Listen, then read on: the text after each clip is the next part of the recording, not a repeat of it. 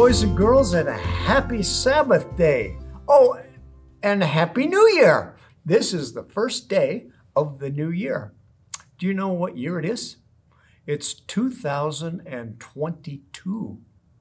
Yeah, it's been over 2,000 years since Jesus was here. Yeah.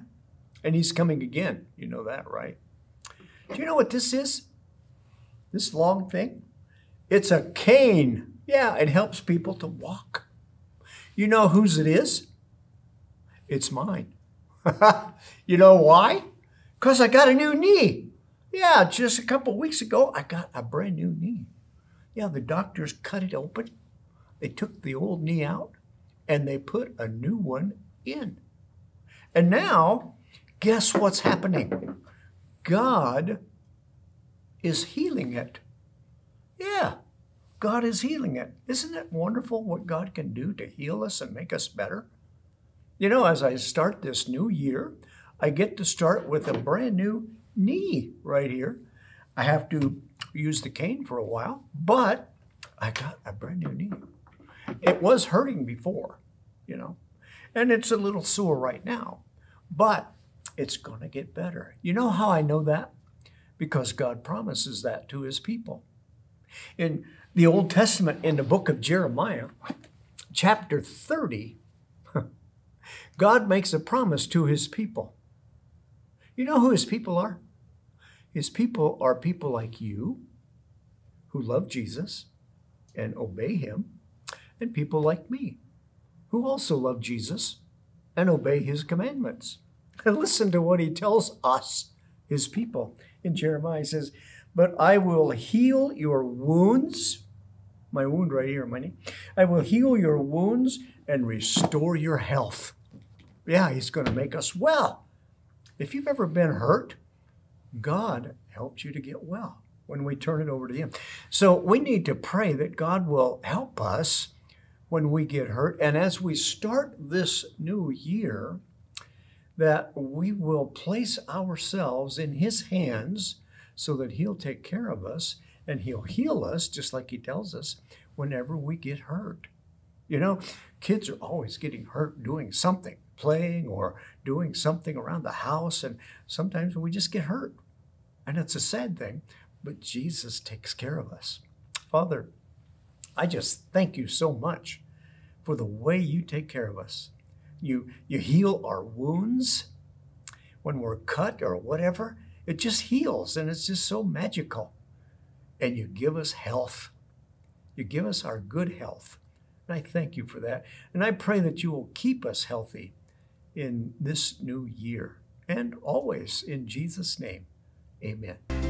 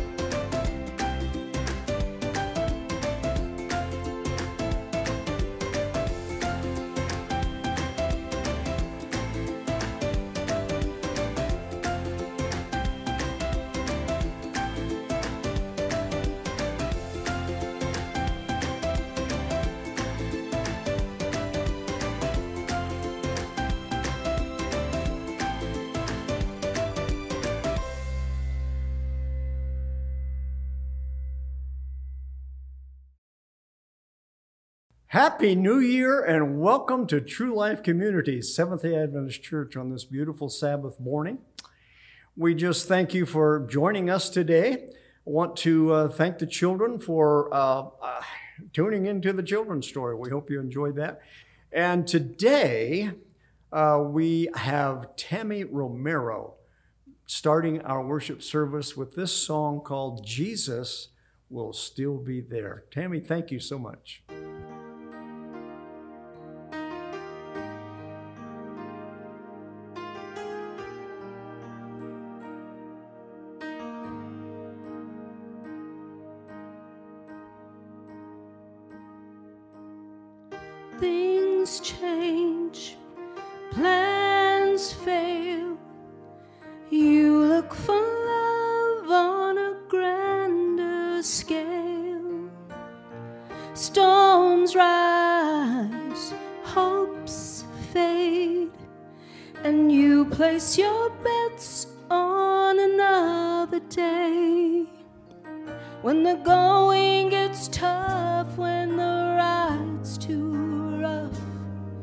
When you're just not sure enough, Jesus will still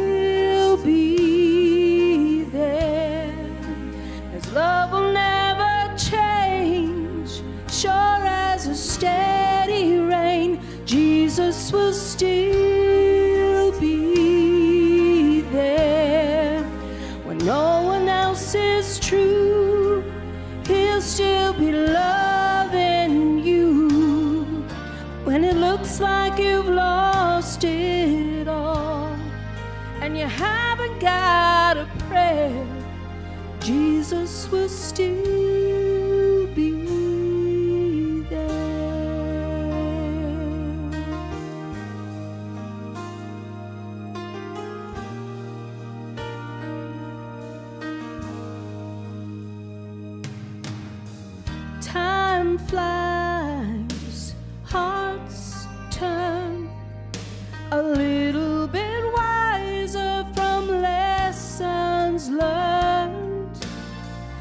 sometimes weakness wins and you lose your foothold once again.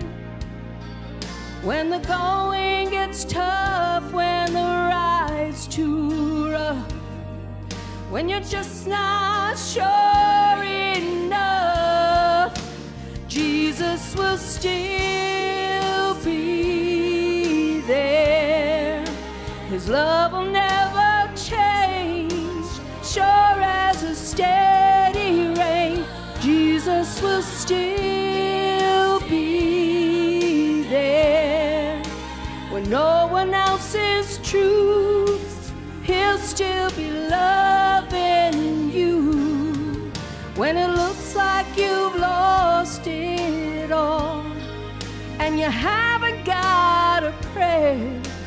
Jesus will still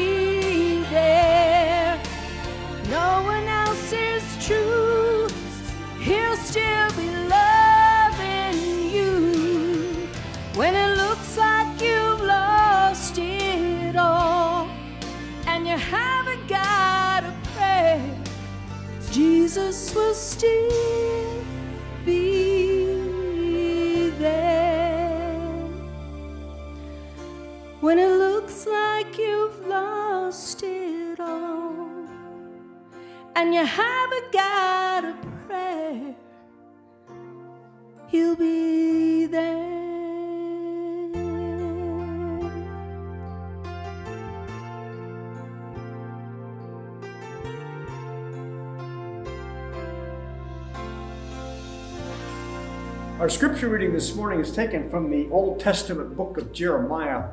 Very um, popular and famous text from Jeremiah 29, verse 11, where it says, I already know the plans I have for you. I will help you, not hurt you. I will give you a future and a hope. What a, an amazing promise from our Lord.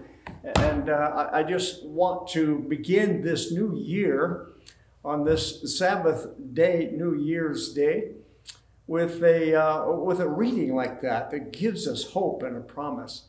Let's begin with the word of prayer, shall we? Father, we just thank you so much for the words that are so encouraging in your Bible, the, the, the book that you've given us as a gift. I pray that you will help us this coming year to, uh, to make the Bible a real part of our everyday lives. In Jesus' name, amen. I titled the sermon today, Living Wisely in 22. That is 2022. I'm sure you have noticed that each year around New Year's time, major magazines put out an issue with pictorial sections recalling people and events that have happened over the past year. It was Edith Lovejoy Pierce who said, We will open a book, its pages are blank. We are going to put words on them ourselves. The book is called Opportunity, and its first chapter is New Year's Day. it's not often that we have the beginning of a new year on the Sabbath day, but 2022 is one of those years. Another quote by Carl Bard is one of, one of my favorites. I, I, like this quote because I know that I have messed up quite a few times, just as all of us have over the past year. Carl Bard reminds us with these words although no one can go back and make a brand new start, anyone can start from now and make a brand new ending. Many magazine articles also include uh, notes by experts predicting what expect, what they expect to happen in the years ahead. Some make predictions covering 10, 20, even more years ahead. and in the past, a few of these predictions have, have really come close to hitting the mark. Some of them have hit the mark exactly, while others couldn't have been more wrong. For example, back in 1967, experts predicted that by the turn of the century, by the year 2000, technology would have taken over so much of our work that the average American work week would only be 22 hours long, and that we would work only 27 weeks out of the year. As a result, one of our biggest problems then would be how to handle all of that leisure time now, I don't know about you, but that prediction certainly missed its mark for my wife and I. I mean, we are busier than ever. Uh, and, and every year, even with the technology improvements and increases, our work seems to, to, to, to get worse, to get heavier, to get, uh, to, to get larger. uh, when we are finished eating our fast food, we, we're, in so, we're in so big we're in so big a hurry that we that we uh, work fast, we we we walk fast, we talk fast, and when we get through with that fast food, we we often stand up and say, you know, I, I really have to run. I really have to too many things to do. So here we are, the very first day of a new year, and I wonder how our lives will change or remain the same in the year 2022. Will we be as busy? Will we make any better use of our time? In 364 and one fourth days, when this year is over, will we be looking back with joy at all the successes that we've had? Or will we regret all of our failures? It's important for us to consider that question as time goes by, as the years go by, because there are things we can do about it. There are lots of passages in the Bible that help us uh, look forward to the rest of 2022 if we read and apply these counsels and these, these suggestions uh, carefully. Way back there in Proverbs chapter 22, Solomon, who was a king, said this about us and kings. He said in Proverbs 22, verse 11, in the Clear Word Bible, He who loves a pure heart and whose speech is gracious will have even the king as his friend. Solomon probably had many men who spoke to him with flattery to buy influence for themselves from this great king. But Solomon tells us the kind of people that he enjoyed to have around him.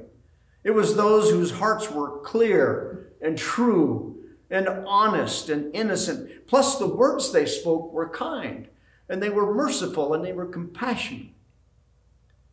He gives us a hint as we as we go on as to how we stand before the King of all kings in 2022 and onward. The same idea carries us into the New Testament when Paul speaks to the Ephesian church. The passage is found in Ephesians chapter 5 when Paul speaks to the people in Ephesus. He says, Remember, in a few verses of, uh, well, actually, in the first few verses of chapter 5, Paul speaks rather frankly, speaks rather frankly to these Ephesian people about their conduct. Listen to his language. He says, such things as illicit sex, lewd living, and greed have absolutely no place in a Christian's life. These things are totally unbecoming to a people who are bound for heaven. Also, filthy language, listen, flippant talk, coarse joking, and making fun of people should have no place in our lives. What you should talk about is how grateful you are for what God and others have done for you. Ephesians chapter 5, verses 3 and 4, that's taken from the Clear Word Bible. Most of my texts today are from the Clear Word Bible. I've fall, fallen in love with that Bible, as I've told you before. So Paul goes so far as to give these people of Ephesus examples of the sins that he's talking about in their lives. And he goes farther in Ephesians chapter 5, uh, verse 15. He says, be, be very careful then how you live, not as unwise, but as wise Use your wisdom. The question arises then if I'm living my life unwisely, how can I start living wisely? If I am an unwise person, will I recognize that I'm unwise, that I need to be wise? He says, making the most of every, every opportunity. This is, this is Paul giving us the answer. He says, Paul uh, was a wise person, you know. And he knew how to answer that question How can I become wise? He goes on in this section of scripture to help us find out how we can live wisely. Listen, he says, making the most of every opportunity because the days are evil. Therefore, do not be foolish, but understand what the Lord's will is. Ephesians 5 16. So the Apostle Paul presents here some very important lessons for you and me to consider. First of all, he says, the days in which we live, and that was way back in Paul's time, the days in which we live are evil. There's evil all around us. First of all, we must be very careful how we live since our lives are being lived in an evil environment, in an evil world. When our surroundings are evil, Paul says to live wisely. How do I live wisely in an unwise world? In most cases, it means I go against the mainstream, I go against the grain uh, uh, of almost everyone's thinking and acting in the world around me, especially today. So in Ephesians 5, Paul says, Do not be foolish, but understand what the Lord's will is. It's rather easy to conclude that living wisely must be to understand what the Lord's will is. He's pounding that home, you see.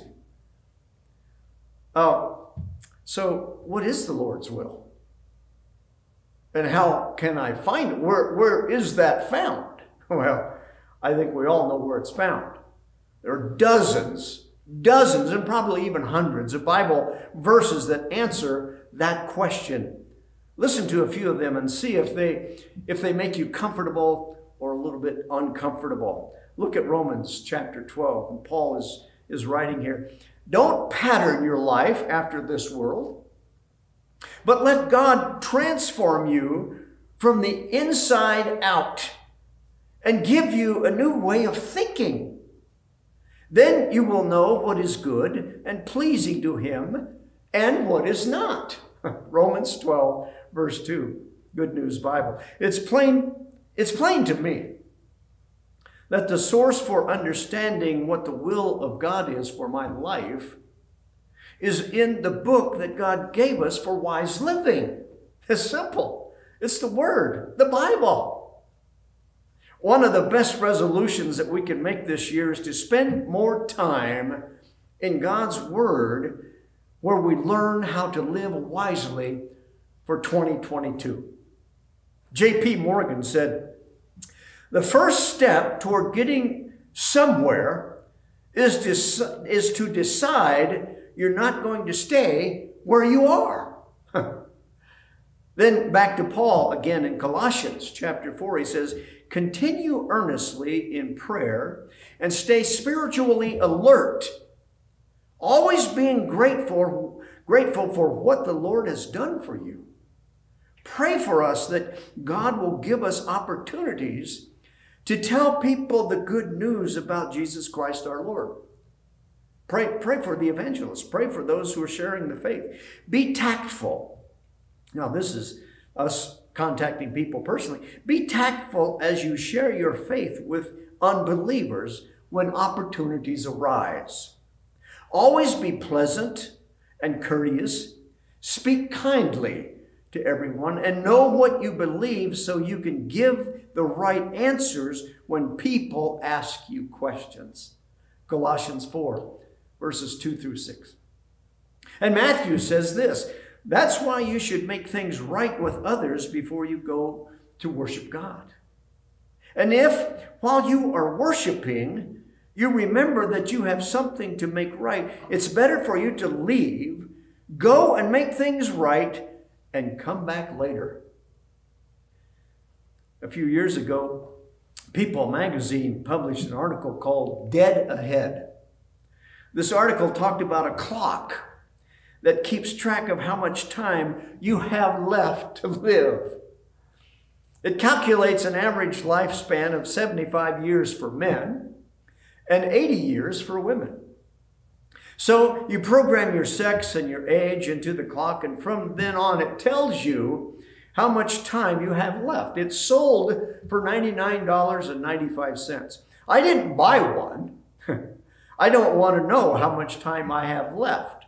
And I don't know very many people who want to know how much time they have left. It's an intriguing device, and if if I lived to be 85 years old, I have about 3,665 days left. and I need to make use of those days. But I could be hit by a mad parishioner, you know, out here in a parking lot today, and my life is over. so the question comes to my mind how much time do we have to accomplish all these great things before our life on earth ends or Jesus comes again? The answer is we have today. We have today. And today is when we begin. I recall a song by Cristy Lane in 1979, a very popular song in that year, and years to come, it's still popular. Um, it was called One Day at a Time. These words are part of that song, and these words are true. It says, One day at a time, sweet Jesus, that's all I'm asking from you. Just give me the strength to do every day what I have to do. Yesterday's gone, sweet Jesus, and tomorrow may never be mine. Lord, help me today. Show me the way, one day at a time. What is it that we need the strength to accomplish today? The Bible helps to fill in those blanks. Listen to Paul once again in Romans 12. Be kind and courteous to one another as true brothers and sisters in the family of Christ, honoring each other above ourselves. Don't be lazy. Do your work enthusiastically, just as if you were working for the Lord Himself. Romans 12, verses 10 and 11. The Bible reinforces the idea that we should not count on tomorrow because tomorrow may not come to you and me. All we have is right now. So our time on earth is valuable because it is limited. There, there will be a day when our life ends, unless Jesus comes. Jesus told us that Satan is a robber and a thief. He's a killer, murderer. And the one thing he tries to steal from us is our time. Because time is one of our most valuable possessions. Think of the time wasted doing things that do not bring glory to God the Heavenly Father. Think of the time uh, as well as the money spent in, uh, say, gambling or drinking or lost in drugs. Think of the shallow relationships we develop and the time we waste in gossiping or slandering or spreading rumors. Think of the time we waste on our guilt trips after we have asked God to forgive us of our past sins. Think about the time we spend worrying about things that we have prayed for. I wonder how God feels about that. Isn't prayer supposed to isn't prayer supposed to take the worry away? If prayer does not take the worry away, whose problem is it?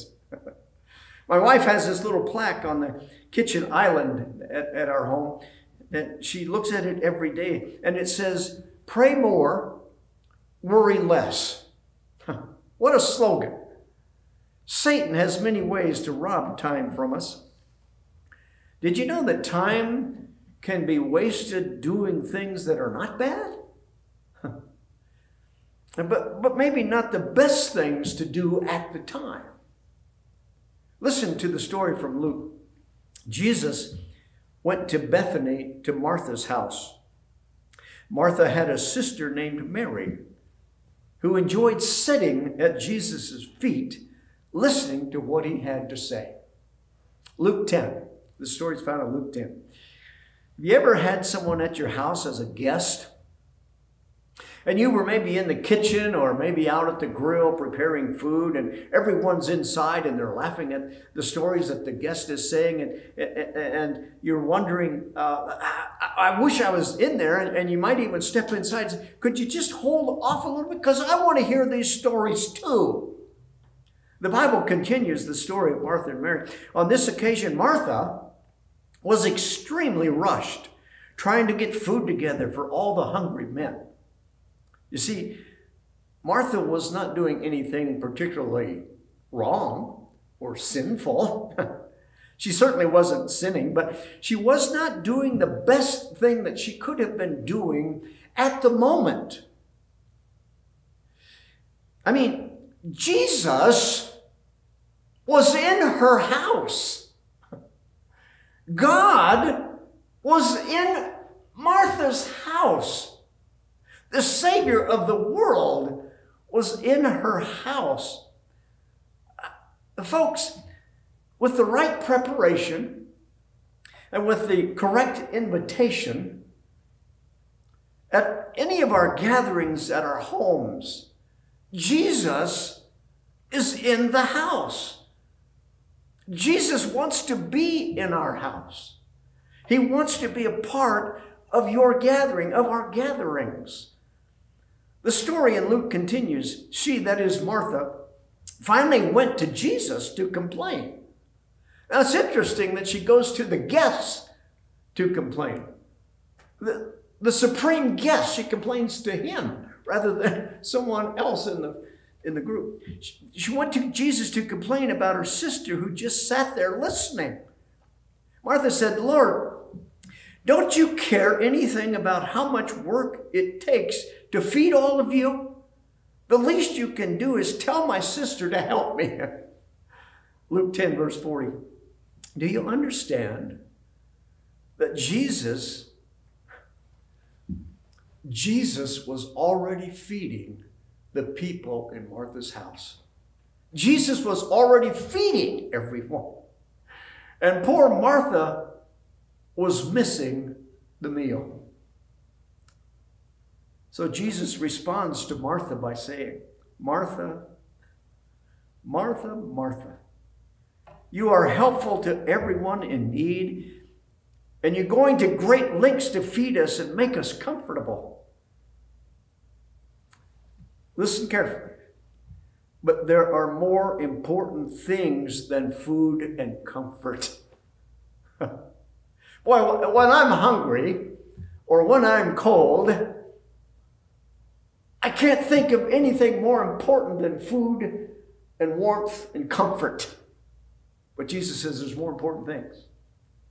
He says, Mary came to me because she recognizes her need. She has chosen the right thing. What I'm telling her will help her for the rest of her life. Now, was Martha sinning by fixing the meal in the kitchen? No, of course not. But here is the problem. She was so preoccupied, preoccupied with what she was doing that she didn't realize that God was in her living room. And at that, and it, it just seems the same with us. We can allow ourselves to get so caught up in earthly things that we don't think we don't think about taking the time to deal with the things of eternal importance, the things that will last forever and ever. Today is the first day of a brand new year. We begin our book with the blank pages ahead of us. We will put the words on those pages ourselves.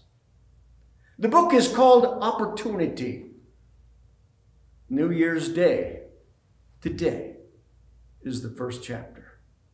May your book be filled with all the wisest choices that you and God can make together. That is my prayer for each of us in the coming year 2022. Dick Lewis will now close our worship service today with this wonderful song. I love this song One Pair of Hands. Dick.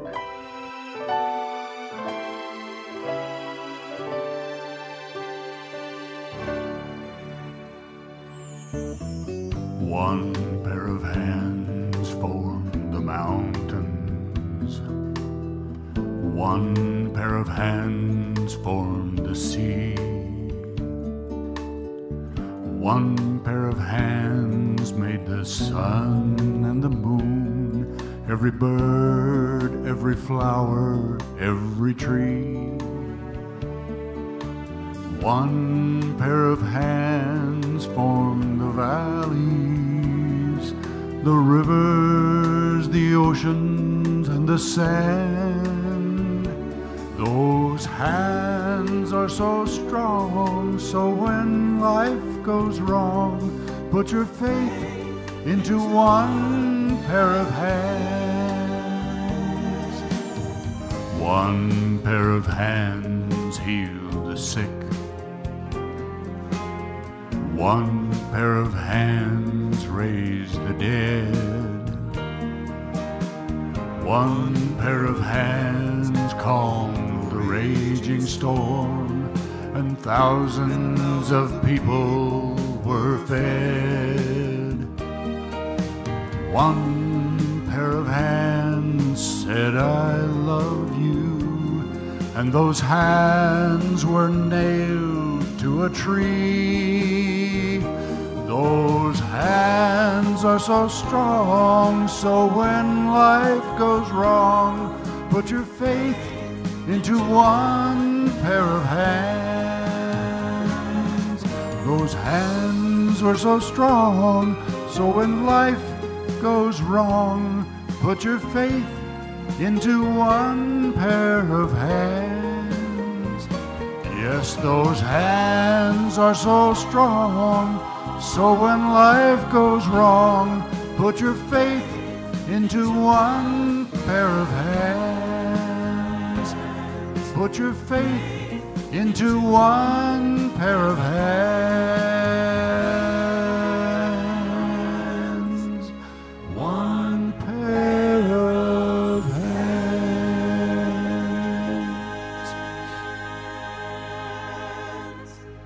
Thank you, Dick, for closing our worship service today with the beautiful song, One Pair of Hands. Jesus has these wonderful hands that he holds the world together, and he uses those hands to bring to bring peace and joy and comfort to your life.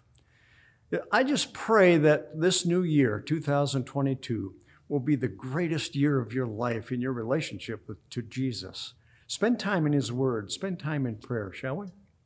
Let's close with prayer now. Father, as we bow in your presence, it's so important for us to, to realize that we have an open book before us, and the book is our life, our own opportunities. And today is the first page on that book. I pray that you will help us to begin filling it with wonderful things that will last all year long and throughout the rest of our lives. In Jesus' name, amen.